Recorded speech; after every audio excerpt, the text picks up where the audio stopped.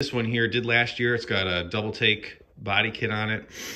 Um, the burgundy one, I did some Modz seats front and rear. It has the Madjax foldable rear seat on it. Uh, really like this seat with the exception of a couple things. It's noisy.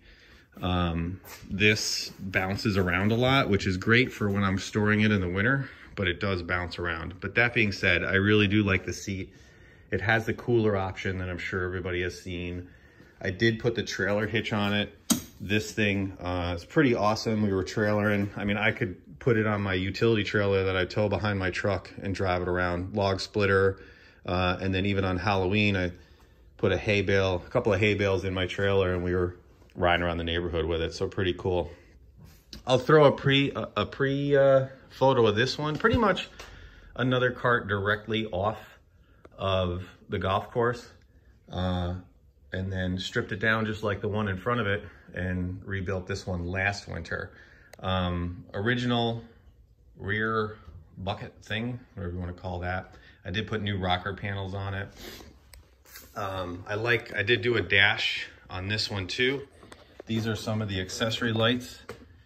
These buttons here, I have two of them that are live. One of them is for an overhead light that's up on the roof here. And then the other one is for the underglow. And then that one might be a speaker someday. This one is gonna be for a rear facing light. Uh, I did do the Navitas kit in this one. I hid the on the fly controller in here in this bucket. Um, I'll turn the I'll turn the underglow on so you guys can see. I I threw some underglow lights in here. Uh, and then this one also is on bigbattery.com's. I got a couple of Eagles in here. Uh, with the Navitas kit, they recommended at least three, if not four, but you know, last year these things were $900 a piece. So we went with two for now. Um, they're on sale currently, so I'm probably gonna pick up a third. If you're riding around at normal speeds, normal meaning factory style speeds, the two last plenty for me, just using it in a neighborhood, not going through 18 holes of golf or 36 holes of golf. You know, I'm not really that far from a plug ever, but you start cranking it up. I've hit 37 miles an hour on this cart, and if you're riding around at top speed, it certainly sucks the, the juice right out of them. So I do want to put a third in. There's plenty of room for it. Um, so let me get let me get this uh, fired up as far as the lights going. And uh, it is winter, so we're not outside. We're in upstate New York, so it's like 30 degrees today. I'm not going to be going for a ride with this thing at any point in time right now. All right, so fired over, got the underglow on. In there is where I stuck one of the LED strips, so at night I can see in there. Those uh, little buttons I got on Amazon, they you can wire them a couple of different ways. You can have them light up when the when the button is pressed, or you can just have them on all the time. I have them on all the time. So when the key is on, that's when they come on. Um, I wired them to the key, and then so you just hit that, and my accessory light up there comes on. I really don't want to drill holes in the roof, but so that's why I got a small light. Problem with that though is you, there's not a lot of clearance when you go to lower the windshield, right? So that's why I went with such a small light. When you're driving it, it feels like a lot of it is bouncing off of that and coming back to you. So it's not as effective as putting it up top. So I do think I'm gonna move this one or potentially get a different one put that one on top. And then I'm probably gonna mount this one in the back here. That'll be closer to the edge. It'll go out that way when needed. Uh, and then, like I say, maybe I will just put a, I'll just put a big one up top here. Uh, and then I would like to get one of those sound bars across there too.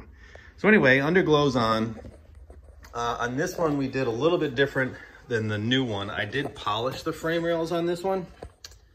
So took a lot of time, but really do like how it looks. Uh, it, it's good for any color that you then paint the, the cart, so or body kit if you buy a body kit.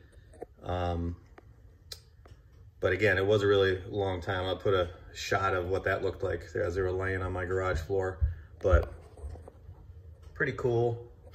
Um, you know, did a full, the next one that we bring up show you guys in a little bit, like the bottom plastic, the main carrier, you know, I got all that painted, cleaned and painted so that everything kind of looks new in here. I did not take this thing mud bogging last year, but it is a full year old now. I just tried to keep it, try to keep it clean. We're running the, I think that's Madjax, right? Uh, three and a half inch lift on this one. I had a Yamaha where I did the six inch and the Yamaha's track is a little bit narrower, so it's not as wide as this, but it just felt so top heavy. So we did a, a three and a half on this one, which really equates to about four. These are 22 inch tall tires. Uh, they, are actually not a black, you can see it now, like the bronze center. Uh, so I tried to tie in the uh, seats with the bronze here and uh, really happy with the look of these wheels. I might actually be looking at a different set of bronze wheels for this cart here, the new one, and maybe swap them out and put this one on the one that we're building. I don't know, we'll see. Rockers, these are new rockers. They're just the aftermarket ones. Um, you know, in the new precedent, you've got some sort of label that was here. So there was still like this cutout for the label. Found this little emblem thing just on Amazon. It was the right size. I thought it fit nice right there. I thought that looked really just clean. I did recently repolish back here. So, you know, repolish the frame recently, uh, last weekend. I did a little brake adjustment on this one and then just while I had the wheels off, I just did a quick polish over here. So we'll do that to the front shortly. Um, underneath, there's my Navitas. I do wish I painted the axle housing on this one with that same engine paint. It would probably look cleaner. I'm tempted to take it apart and do it because you can, even with the seat down, it, you can't see that pumpkin. So I like it to look as fresh as possible. So um, the one problem that we had with this one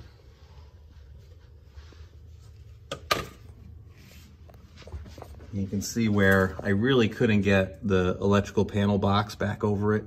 So with all the thicker gauge wire and the larger controller, um, I ended up zip tying it so I at least had coverage.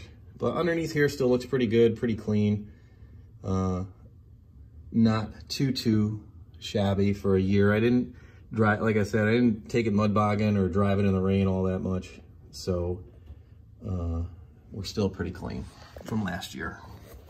So rather than polishing this one, um, by the battery box, when the acid starts leaking out, it does etch a lot of this pretty good. So I just kind of chose to, to paint this one uh, in aluminum color. So no matter what color I end up going with with the body, um, it'll still, you know, do the thing and look new. I guess you could go black and hide it, I kind of like the color variant when you look in here. So that's why I went ahead and, and uh, painted it a silver color. Uh, light kit on this thing, it's all, it's inside. So when you flip the regular headlights on, I get that lower light as well. So all of that is factory. I believe, I don't think that comes on. Yeah, when you run the daytime running lights, it's just, it's just that strip. And then for those of you that might not be familiar with the Doubletake kit, it does have signals and then that white bar just flashes uh, amber, which is pretty cool. And it ties in with that lower one too. So there's with the upper one on. So that's kind of the walk around with this one. Um, couple of couple of things about this one though. This dashboard, I they say to rivet it uh, underneath here when you're putting the front fascia on. I really I screwed it because I wanted to be able to remove it if I needed. I don't think that the screwing it in rather than riveting is causing it because the, the plastics are pretty hard. So when you do hit some bumps, like you got, you can hear that, right? Like it's a little bit of my complaint with this front end. Like it, it, it, when you're going over bumps, it is a little bit noisy. And because it's electric, it's so quiet, you hear all of it. Um, but quality of the body, pretty good. It's only been a year and this chrome is looking like that, which I'm annoyed with, but uh, might try and get a different grill. The only thing I use on this is automotive cleaners and microfiber towels. So I'm not cleaning it with, you know, a dirty dish rag. So I don't really know why it would do that, but oh well. So we'll shut her down here.